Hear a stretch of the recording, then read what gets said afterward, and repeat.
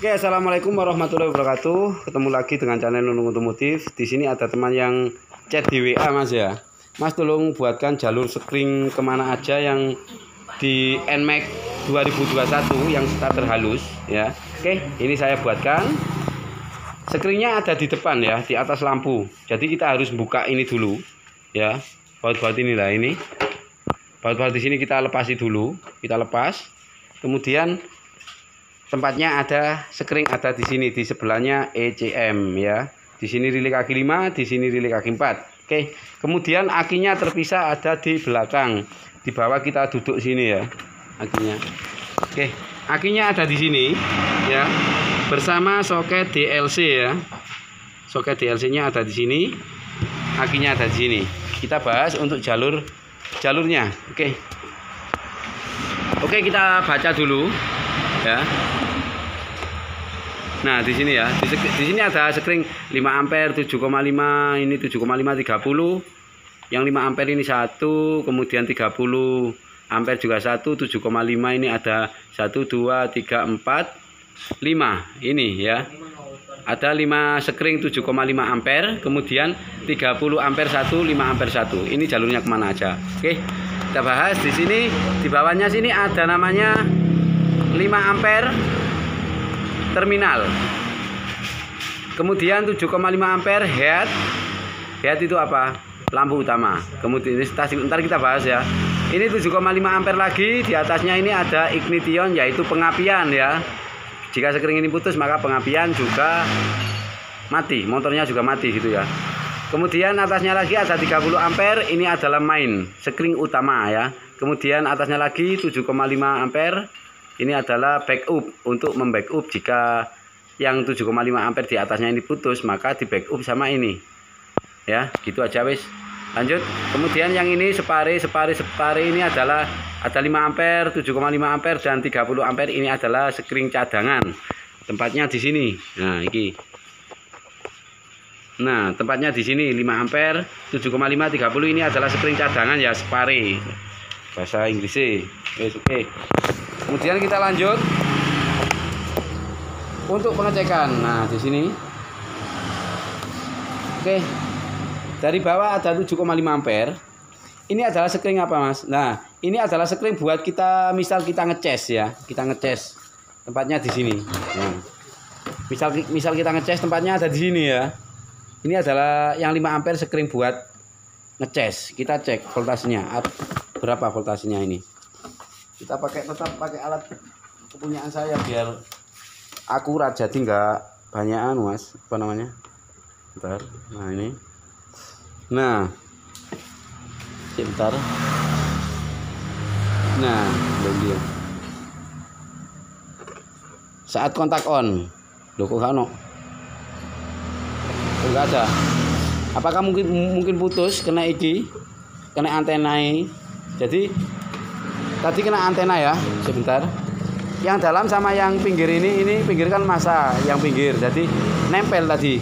Antenanya nempel jadi sekringnya putus. Kita cek aja sekringnya putus apa enggak. Matikan dulu. Apakah sekringnya putus? Mungkin. Sekringnya putus. Ya iya mas ya. oke. Tadi terjadi konslet jadi sekring yang 5 ampere ini putus ya kena anten dari modul ya. Seharusnya kan harus kalau ngecek-ngecek gitu seharusnya di sini harus terbungkus sampai ujung sini ya. Seharusnya lebih aman ya. Ini memang saya buat begini karena rotok ngirit selang bakar ini mas bro. Ya. Oke jadi kalau sampean punya buat ngecek-ngecek yang anu ini sampean bungkus sampai sini ya. Sisakan ujungnya aja. Ujung ujungnya jangan dibungkus.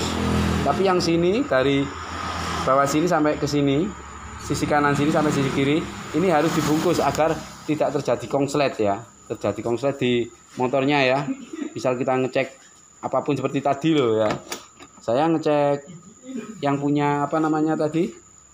Buat ngeces screen 5 dari screen 5 ampere tiba-tiba screennya putus ini ya. Oke screennya putus wis ketok ah fokus kita matikan dulu. Nah ketok arek pasangannya wis Nah, wes pokoknya intinya screennya putus ya ini. Ini screennya putus. bagaimana ngecek screen putus? Gini aja mas. Nah gini. Screennya putus kan orang pati jelas ya nah kita tes di sini. Yang satu tidak ada voltase sedangkan di kaki satunya saat kontak on nanti. Orang kena oh ini saat kontak on nih. Nah berarti ini nunggu saat kontak on ya. Saat kontak on ini ada voltase. Di kaki screen satu ini ada 12 volt. Kemudian di satunya di satunya tidak ada. Ini screennya putus kita cabut. Kita ganti. Oke. Kita ganti yang 5 ampere nah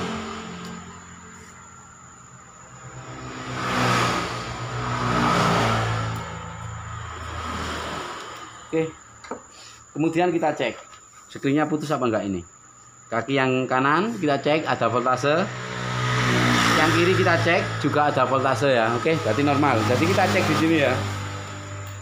Kita off kan kontak dulu supaya enggak terjadi salah lagi di sini. Ya enggak terjadi salah. Si. Oke. Kita tusuk yang tengah ya Oke, ini kan belum ada voltase. Kemudian kontak kita on. Sik. Kemudian kontak kita on. Nah, ada voltase 12,6. Jadi sekring yang 5 ampere itu jalurnya ke sini Mas ya buat ngecas biasa ini. Buat ngecas, oke.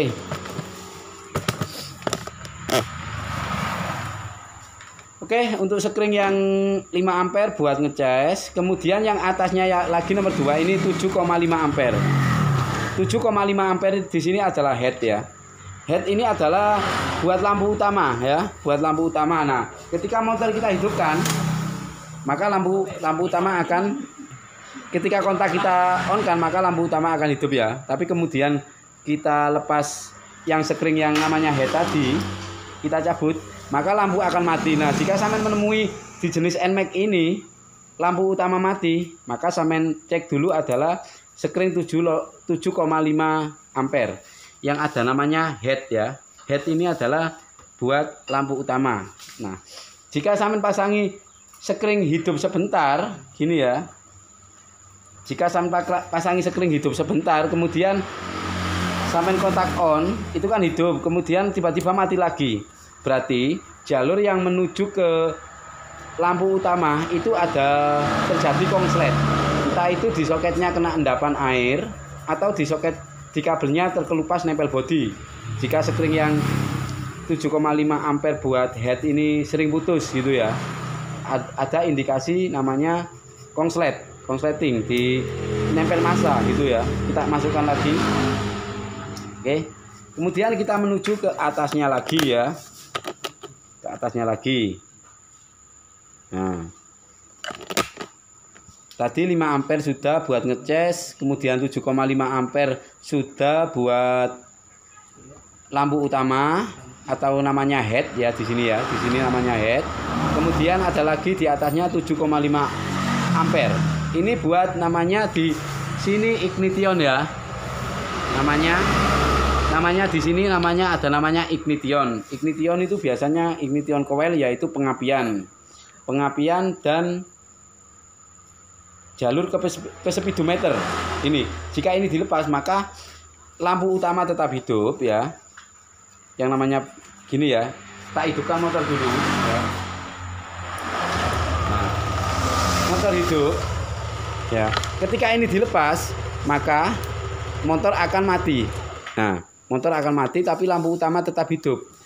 Kemudian di digital speedometer juga mati ya tapi lampu utama yang masih hidup ya lampu utama yang masih hidup tapi motor tiba-tiba mati.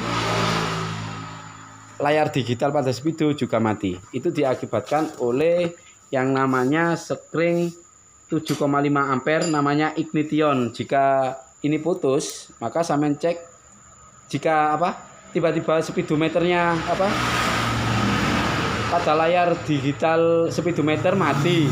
Kemudian motornya juga mesinnya nggak bisa dihidupkan. Itu sampean cek screen yang namanya ignition 7,5 ampere ya ini masih ya. Oke matikan dulu. Tapi ini lampu utamanya tetap hidup jika ini yang putus ya. Yang namanya ignition itu adalah buat pengapian dan juga buat ke speedo layar digital ke atas. Jika itu ini setunya putus maka layar speedo digital mati. Ignition atau pengapian juga mati ya. Oke kemudian ada 30 ampere. 30 ampere ini adalah namanya main ya. Main ini adalah skring utama. Jika ini diputus maka sistem kelistrikan motor ini akan mati semua ya. Kita praktekkan ya. Kita hidupkan motor kita hidupkan motor kemudian kita cabut sekring yang 30 ampere. Ini adalah namanya main. Ini adalah tentang sekring utama untuk menyuplai sistem kelistrikan dari motor ini tersendiri. Kita cabut. Tuh. Tuh itu. Bentar bentar. Nah mati. Motornya mati ya beberapa saat mati. Oke. Jadi kalau sekring utama ini dicabut ya sekring utama ini dicabut atau putus saat kontak on semua kelistrikan mati. Wis, mati semua ya. Sehingga ada tanda-tanda kehidupan. Oke yang 30 ampere. Saya sempat anu so soalnya dihidupkan kan ini masih ya? Dihidupkan. Nah. Dihidupkan. Kalau dicabut nggak langsung mati. Loh ya. Nggak nggak langsung mati motornya loh nunggu nunggu beberapa detik ya. Kemudian mati kelistrikan mati semua ya. Sistem FI nya mati semua. Oke kita tancapkan lagi. Kemudian di atasnya 30 ampere ini ada namanya backup yaitu 7,5 ampere. Nah backup ini adalah buat membackup sekring atasnya yang namanya EFI ya EFI EFI ini buat apa aja ya bentar. EFI adalah buat full pump full pump juga mati ya full pump juga mati. Dan juga sebentar gini yang atas sendiri ya. Tapi jika backup oh anu urut ayo mari telung bulu kan saya backup backup jika dilepas. Apakah ada kendala pada motor? Kita hidupkan motor dulu. Jamnya ke mana? Backup ini. Biasanya backup ini masih yo backup untuk membackup entah itu yang atas ini jalur F FI nya EFI nya atau yang bawah 30 ampere. Tapi backup buat backup yang jenis ini mas yang atas sih apakah benar ya? Kita lepas jalur backupnya kita cabut backupnya. Apakah motor masih bisa dihidupkan? Normal masih ya oke. Oke tidak ada indikasi motor mati atau trouble ya nggak ada.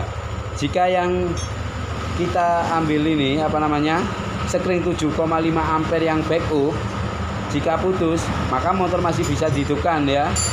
Masih bisa dihidupkan motor. Oke.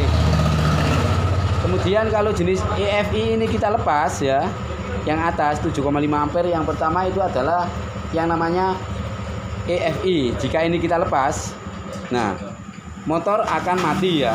Mesin motor akan mati tapi lampu utama tetap hidup. Karena sekelilingnya sendiri. Kemudian pada layar digital ini melotot wis gak usah dianu ya.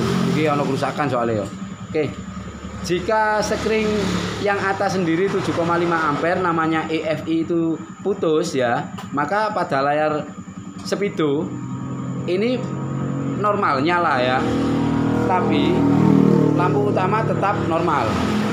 Tapi pengaruhnya di mana ini? Nah, ini masih jika sekring 7,5 yang namanya EFI ini dilepas ya atau putus, maka full pump atau injeksi buat injeksi ke injektor itu mati full pumpnya juga mati jadi tidak bisa menghidupkan motor ya tidak bisa menghidupkan motor jadi yang EFI ini adalah untuk injeksi ya EFI ini adalah adalah untuk injeksi yang mana full pump mati ya. Pokoknya sekring EFI ini putus full pump mati tapi kelistrikan motor tetap jalan. Kita cek listrikan motor. Misal kita cek di anu rating sein ya. Saya nyala ya. Oke klakson klakson nyala. Kemudian tombol starter kita pencet tetap nyala. Nah ya tombol starter kita pencet tetap nyala. Switch rim ini juga aktif ya. Tapi cuma injek bagian injeksi ya. Dari full pump mati. Nah itu aja. Matikan. Tapi semua kelistrikan normal ya. Oke kita masukkan lagi yang atas sendiri ini ya. Ini adalah EFI ini adalah buat injeksi ya. Injeksi yang nama yang singkatan untuk adalah apa full pump ya. Full pump kan nyemprot ya apa kok sanyu lho bos. Full pump jero tangki lho ya. Iku mati wis. Pokoknya pokok sekring 7,5 yang namanya EFI ini putus maka full full pump akan mati. Pengapian tetap ada. Nah gitu. Oke. Kemudian ini sudah semua ya. Ini sudah semua. 5 ampere yang bawah adalah buat ngeces ngeces HP kemudian atasnya lagi adalah main ya. Adalah main atasnya ini main eh apa? Head head ya. 5 ampere yang bawah adalah buat ngecas HP atasnya adalah head buat lampu utama. Kemudian atasnya lagi 7,5 ampere. Ini adalah ignition dan speedo. Jika ini putus maka layar speedo akan mati dan juga pengapian akan hilang ya. Kemudian ke atasnya lagi ada 30 ampere sekring utama. Jika sekring utama putus maka kelistrikan semua motor ini akan mati ya nggak jalan. Kemudian atasnya lagi ada namanya backup. Ya ini buat backup. Jika ini putus ini motornya saya coba nggak ada kendala. Ya nggak mati. Jika screen backupnya yang putus ya nggak ada kendala. Kemudian atasnya lagi yang terakhir adalah EFI EFI ini adalah buat injeksi. Jika ini putus motor akan mati. Mesin tidak bisa hidup karena full pump suplainya dari sini ya dua platformnya kalau nggak salah. Oke wis nggak apa-apa wis. Oke. Kemudian tinggal satu di samping ini ya. Tinggal satu di samping ini. Nah fokus aduh. Tinggal satu di samping ini namanya signal. Signal ini buat apa? Setrenya 7,5 ampere ya saya kasih tahu ya signal signal. Signal ini di yang kita sebut bahas di NMAX. Screennya ukurannya 7,5 ampere. Namanya signal. Ini buat apa masnya? Signal adalah buat yang pertama adalah buat klakson ya screen klakson dan juga screen sweet rim. Dan juga sweet rim itu kan ntar mengarah ke tombol starter ya. Jadi ada hubungannya dengan namanya screen namanya signal ini 7,5 ampere. Ini berfungsi sebagai klakson. Yang pertama ya yang pertama klakson. Yang pertama klakson ini. Yang kedua adalah sweet rim. Sweet rim dan juga ntar melewati sini tombol starter. Nah ya oke. Okay. jika itu dilepas ya. Jika ini dilepas atau putus ya 7,5 ampere putus ini yang namanya signal maka tombol apa klakson nggak bisa dibunyikan ya. Switch rim nggak bisa aktif otomatis kalau switch rim nggak teraliri arus maka starter juga nggak bisa. Ya oke itu namanya signal di sini ya. Oke wes semoga dipahami wes ngomong sak dabres ya kok oke tak masukkan lagi. Oke Semoga sampean ngerti semua ya. Untuk jalur di sini sudah saya ambil satu sekringnya yang tadi putus yang 5 ampere. Ini tinggal cadangannya tinggal 2 7,5 dan 30 ampere. Oke. Urutannya seperti tadi yang saya katakan tadi wis gak balam-baleni wis. Semoga sampean paham kok golek apa? Lampu, Pak. Lampu apa? Piro? Satu aja, Pak. Oke, saya akhiri sampai di sini dulu. Wassalamualaikum warahmatullahi wabarakatuh tentang apa namanya jalur screen NMAX yang non ABS dan juga yang bukan keyless ya. Kalau keyless di sini ada apa namanya tambahan screen lagi satu seperti ini, tapi yang 5 ampere itu adalah screen buat keyless ya. Tapi ini kan bukan keyless kontak biasa, jadi screennya di sini satu di sampingnya ini. Kalau di sini berapa tadi? Kurang hitung aku. 6 apiro. 6 mau piro? Jiro lupat mau 6 yo 6 wis. Lampu ngarep apa mburi? Ya wis. Konten nanti wi. Piro ya? Halo. Konten nanti. Itu ya wi. Berarti men duwe mui. Ya. Ya pemain Coba minum ke sini. Ya kudu tok. Hah?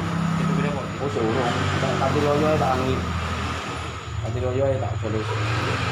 Tak loyo ae. Barang ngono. Kon mah gak nang omah. Tak kene barang kabeh hakmu ini. Pak Sawo?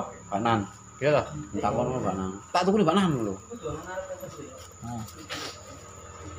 Oke, saya akhiri sampai di sini dulu. Wassalamualaikum warahmatullahi wabarakatuh. Salam jos.